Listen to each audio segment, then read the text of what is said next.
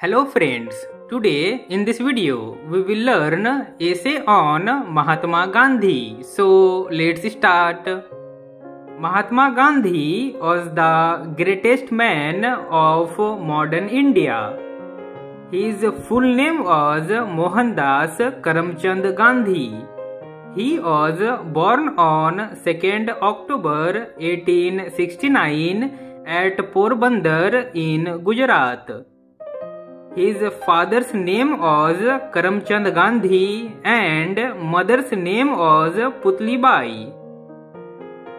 As a student, Mahatma Gandhi was not brilliant, but he was honest and truthful from his very childhood.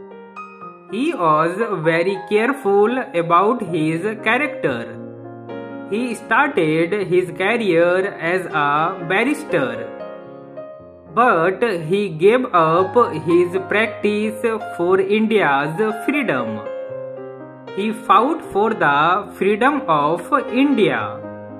He went to jail several times. India got freedom under his able guidance.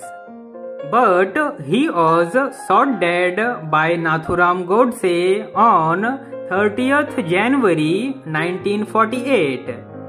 The whole world mourned his death.